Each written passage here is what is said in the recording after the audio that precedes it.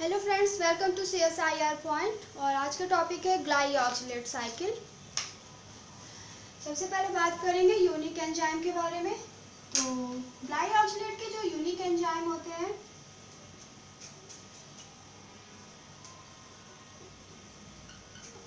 वो दो होते हैं। फ़र्स्ट होता है मैलेट सिंथेस सेकेंड एंजाइम होता है आइसोसिट्रेट सिट्रेट लाइज ठीक? फिर बात आती है ग्लाइऑक्सिलेट साइकिल किसमें प्रेजेंट रहता है और किन किन में एब्सेंट रहता है। जब बात आती है प्रेजेंस की तो ग्लाइऑक्सिलेट साइकिल प्लांट में प्रेजेंट रहता है। बैक्टीरिया फॉर एग्जांपल के लिए इकोलाई e. ईस्ट हो गए और कुछ जो इनवर्टिब्रेट है, उसमें ग्लाइऑक्सिलेट साइकिल प्रेजेंट रहती है। फिर आती बात किन में ये एब्सेंट रहता है? तो अगर हम इनवर्टिब्रेट की बात करें इंक्लूडिंग ह्यूमन तो उनमें ये जो ग्लाइऑक्सिलेट साइकिल है, वो एब्सेंट रहती है। उसका रीजन क्या होता है कि जो यूनिक एंजाइम होते हैं ग्लाइऑक्सिलेट साइकिल के मैलेट सिंथेज और आइसोसिट्रेट लाइज ये क्या होते हैं वर्टिब्रेट में अपसेंट रहते हैं, ये नहीं पाए जाते हैं और इन्हीं के अपसेंस की वजह से क्या होता है कि वर्टिब्रेट में जो ग्लाइऑक्सिलेट साइकिल है, वो नहीं पाई जाती है। वर्टिब्रेट में ग्लाइऑक्सिलेट साइकिल नहीं होने की वजह से क्या होता है कि वर्टिब्रेट में कभी भी जो लिपिड है वो डायरेक्टली उसका जो नेट सिंथेसिस कार्बोहाइड्रेट में नहीं होता है। ठीक है? फिर बात ये आती है कि ग्लाइऑक्सिलेट साइकिल होती किसमें है? तो ग्लाइऑक्सिलेट साइकिल का जो फ्रेंस है वो होती है ग्लाइऑक्सीसोम ग्लाइऑक्सीसोम जो है वो एक स्पेशलाइज्ड परऑक्सीसोम होता है और सेल में जो ग्लाइऑक्सीसोम का जो डेवलपमेंट होता है, वो केवल तभी होता है जब किसी सीड का जर्मिनेशन हो रहा होता है। और केवल और केवल ये सीड टिश्यू में ही इनका डेवलपमेंट होता है। कभी भी ऐसा नहीं होगा कि प्लांट में पूरे टाइम या फिर किसी भी टिश्यू में ये ग्लाइऑक्सीसोम बन जाते हैं। ऐसा बिल्कुल भी नहीं है। ग्लाइऑक्सीसोम का फॉर्मेशन सीड टिश्यू में होता है। पहली चीज़ दूसरी ये होती है, तब होता है जब वो सीड जर्मिनेट कर रहा होता है। ठीक है? तो ये हो गया कि किसमें ये होता है? फिर नेक्स्ट हम लोग बात करेंगे कि जब सीड जर्मिनेशन हो रहा होता है तो उस समय ग्लाइऑक्सीसोम कैसे इंपॉर्टेंट रोल प्ले करता है? तो देखते हैं।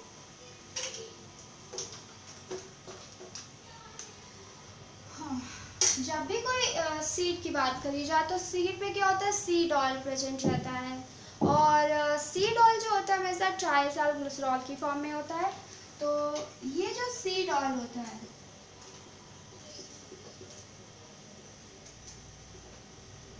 ट्राइसाइल ग्लिसरॉल की फॉर्म में होता है। जब सीड का जर्मिनेशन हो रहा होता है तो ये जो सीड ऑयल है ट्राइसाइल ग्लिसरॉल है लाइपेज के प्रेजेंस में इनका ब्रेक डाउन हो जाता है। और ये टूट जाते हैं फैटी एसिड में। ठीक? तो फैटी एसिड में इनका ब्रेक डाउन हो जाता है जर्मिनेशन के दौरान। फिर ये फैटी एसिड कहाँ चले जाते हैं? ग्लाइऑक्सीजन में। ग्लाइऑक्सिसोम में जाने के बाद ये फैटी एसिड क्या करते हैं? ग्लाइऑक्सिलेट साइकिल में इन्वॉल्व होते हैं। कैसे? देखते हैं आगे।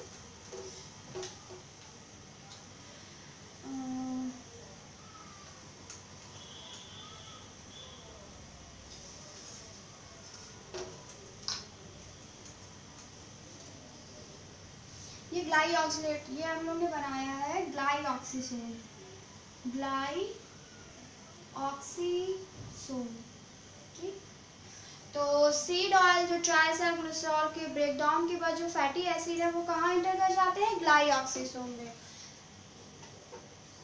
इंटर करने के बाद क्या होता है कि इनका बीटा ऑक्सीडेशन होता है। बीटा ऑक्सीडेशन होने के बाद ये किसमें टूट जाते हैं? एस्टिल को एंजाइम ए में। एस्टर को एंजाइम में जब ये टूट जाते हैं तो ये क्या करता है? एस्टर को एंजाइम इधर से ऑक्जेलो स्टेट के साथ कंडेंस होता है। ऑक्जेलो स्टेट के साथ एस्टर को एंजाइम कंडेंस होकर क्या करता है? सिट्रेट फॉर्मेशन करता है। और ये फॉर्मेशन होता है एंजाइम सिट्रेट सिंथेज की प्रेजेंस में। ठीक? सिट्रेट सिंथेस की प्रेजेंस में। उसके बाद क्या होता है? सिट्रेट का आइसोमराइजेशन होता है आइसोसिट्रेट में। एंजाइम एक्वानिटेज की प्रेजेंस में। फिर ये आइसोसिट्रेट का क्या होता है? ब्रेक डाउन हो जाता है। सक्सीनेट में। और ग्लाइऑक्सिलेट में। ग्लाइऑक्सिलेट और जो एंजाइम होता है, वो एंजाइम होता है आइसोसिट्रेट लाइस ठीक? तो आइसोसिट्रेट आइसोसिट्रेट लाइस की प्रेजेंस में सक्सीनेट और ग्लाइऑक्सिलेट में टूट जाता है। उसका ब्रेकडाउन हो जाएगा। फिर ये ग्लाइऑक्सिलेट क्या करता है कि जो second molecule acetyl coenzyme है। यहाँ स्टिल को एंजाइम ए है। ये second molecule acetyl coenzyme A के साथ कंडेंस होके मैलेट का फॉर्मेशन करता है। एंजाइम क्या हो जाएगा? मैलेट सिंथेज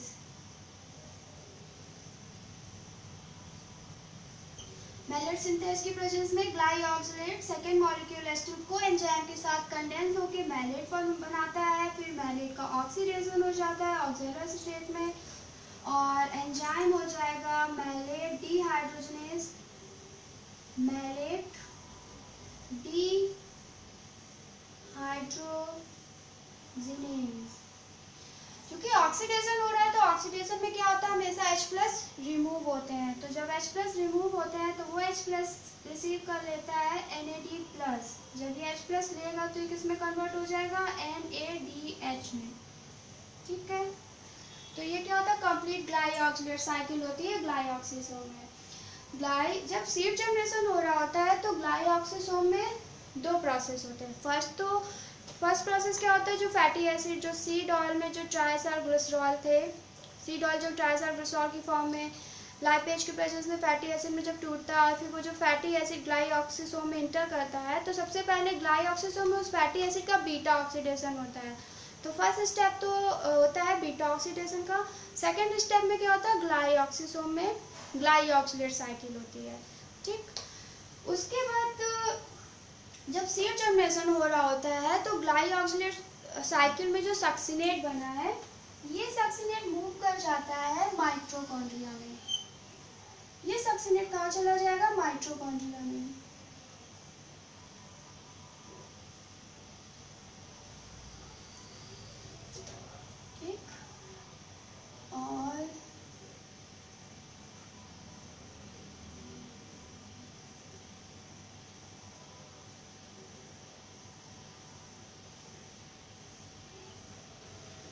माइट्रोकॉन्ड्रिया के मैट्रिक्स में जो सिट्रिक एसिड साइकिल हो रही होती है, उसमें ये इंटर कर जाएगा, सक्सीनेट।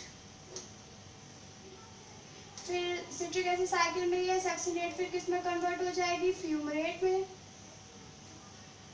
फ्यूमरेट के बाद इसका कन्वर्जन होता है मैलेट में। और फिर ये मैलेट माइट्रोकॉन्ड्रिया के मैट्रिक्स से रिलीज़ होकर कहा जाएगा? साइटोसॉल में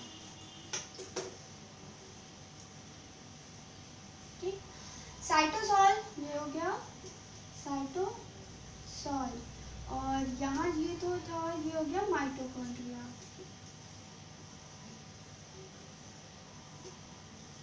साइटोसॉल में आने के बाद मैलेट का ऑक्सीडेशन हो जाता है ऑक्जेलो एसिटेट में साइटोसॉलिक मैलेट डिहाइड्रोजनेस की प्रेजेंस में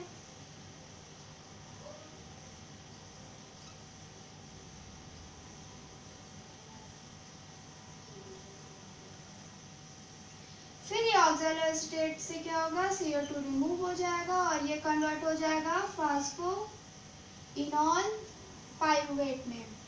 फिर ये फास्फो इनॉल पाइरुवेट कन्वर्ट होगा फ्रेक्टोज सिक्स फास्फेट में। फिर फ्रेक्टोज सिक्स फास्फेट का कन्वर्जन होगा ग्लूकोज सिक्स फास्फेट में। और इस तरीके से ये फ्रेक्टोज और इधर से ये ग्लूकोज ये किसमें कन्वर्ट हो जाएँगे? सुक्रोज में। सुक्रोज जो बना है, ये कहाँ चला जाएगा? जो जर्मिनेटिंग सीड है, उसकी जो डेवलपिंग रूट और सूट है, उसमें चला जाएगा उसको वहाँ क्या करेगा? एनर्जी प्रोवाइड करेगा, जिसकी वजह से उसकी ग्रोथ होगी, ठीक है? तो क्या होता है? फिर से एक बार देख लीजिए कि जब सीड जर्मिनेशन हो रहा होता है तो उस समय सीड में क्या होते हैं? सीड ऑयल प्रेजेंट रहते हैं ट्राईसाइल ग्लिसरॉल की फॉर्म में, फिर वो ट्राईसाइल ग्लिसरॉल का लाइपेज के प्रेजेंस में फैटी एसिड में ब्रेक डाउन होता है। फैटी एसिड जो बने हैं, वो मूव करके कहाँ आएँगे ग्लाइऑक्सीसोम में। ग्लाइऑक्सीसोम में आने के बाद इन फैटी एसिड का बीटा ऑक्सीडेशन होता है और ये एस्टिल कोएंजाइम में टूट जाते हैं। फिर ये एस्टिल कोएंजाइम ऑक्जेलोएसिटेट के साथ कंडेंस होता है सिट्रेट सिंथेज की प्रेजेंस में और सिट्रेट फॉर्मेशन करता है। सिट्रेट का आइसोमराइजेशन होता है एकोनिटेज की प्रेजेंस में और आइसोसिट्रेट का फॉर्मेशन होगा। फिर आइसोसिट्रेट जो है इसका ब्रेकडाउन होगा आइसोसिट्रेट लाइस के प्रेजेंस में। एक मॉलिक्यूल सक्सिनेट बनेगा और फिर दूसरा बनेगा glyoxylate glyoxylate second molecule acetyl coenzyme A के साथ कंडेंस होके मैलेट सिंथेज के प्रेजेंस में मैलेट बनाएगा। मैलेट क्या करेगा? मैलेट का ऑक्सीडेशन होता है मैलेट डिहाइड्रोजनेस के प्रेजेंस में और ऑक्जेलोएसिटेट बनेगा। क्योंकि ऑक्सीडेशन है तो H प्लस क्या होते हैं रिमूव होते हैं और वो H प्लस रिसीव कर लिए जाते हैं Na प्लस के थ्रू और वो कन्वर्ट हो जाता है NaDH में। ठीक? ग्लाइऑक्सिलेट अगर हम लोग केवल ग्लाइऑक्सिलेट साइकिल की बात करें तो उसमें क्या होता है कि दो मॉलिक्यूल एस्टिक कोएंजाइम ए लगते हैं और वन मॉलिक्यूल सक्सिनेट का फॉर्मेशन होता है। सीड जनरेशन में इसके बाद क्या प्रोसेस होता है कि जब सीड जनरेशन हो रहा होता है ग्लाइऑक्सिसोम में ग्लाइओक्सिलेट साइकिल के थ्रू जो सक्सिनेट बनता है, वो मूव करके माइट्रोकॉन्ड्रिया में आ जाता है। और वहाँ पे वो इंटर कर जाता है सिट्रिक एसिड साइकिल में। ये इंटर कर जाएगा सिट्रिक एसिड साइकिल में।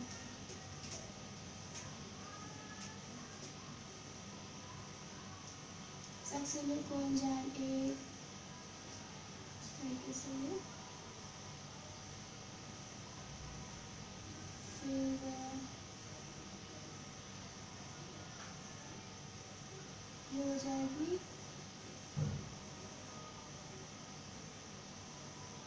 ठीक। तो फिर ये सक्सीनेट क्या करेगा? माइट्रोकॉन्ड्रिया में सिट्रिक एसिड साइकिल में इंटर कर जाएगा फ्यूमरेट में कन्वर्ट होगा फ्यूमरेट से मैलेट में कन्वर्ट होगा और फिर वो मैलेट माइट्रोकॉन्ड्रिया से रिलीज़ होकर साइटोसॉल में आएगा। साइटोसॉल में आने के बाद उसका ऑक्सीडेशन हो जाएगा साइटोसॉलिक मैलेटी हाइड्रोजनेस की प्रेजेंस में एसिटेट में। ऑक्जेलोसिटेट से जब CO2 रिमूव होगा तो फास्फेनॉल पायरुवेट बनाएगा और फिर फास्फेनॉल पायरुवेट ग्लूकोनियोजेनेसिस के थ्रू ग्लूकोनियोजेनेसिस ग्लूकोनियोजेनेसिस के थ्रू फ्रक्टोज सिक्स फास्फेट बनाएगा, फिर ग्लूकोज सिक्स फास्फेट बनाएगा और फिर फ्रक्टोज और ग्लूकोज आपस में कंडेंस होकर सुक्रोज बनाएँगे। फिर ये सुक्रोज फ्लोएम के थ्रू ट्रांसलोकेट होगा, जो ग्रोइंग प्लांट है, जो ग्रोइंग सीड है, उसकी रूट और सूट में जाएगा और वहाँ पे क्या करेगा? एनर्जी प्रोवाइड करेगा, जिसकी वजह से वो क्या होगा? उसकी ग्रोथ होगी।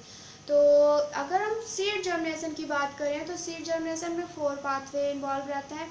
फ़र्स्ट पाथवे होता है ग्लाइऑक्सीसोम में बीटा ऑक्सीडेशन पाथवे सेकेंड होता है ग्लाइऑक्सीसोम में जो ग्लाइऑक्सीलेट साइकिल होती है वो थर्ड पाथवे होता है माइट्रोकॉन्ड्रिया के सिट्रिक एसिड साइकिल जो इन्वॉल्व है, जिसमें सक्सीनेट इंटर करता है। वो और फोर्थ पाथवे होता है साइटोसॉल में ग्लूकोनियोजेनेसिस तो इन फोर्थ पाथवे के कॉम्बिनेशन के बाद जाके, जो एक सीड में जो सीड ऑयल है फर्दर किसमें कन्वर्ट होता है?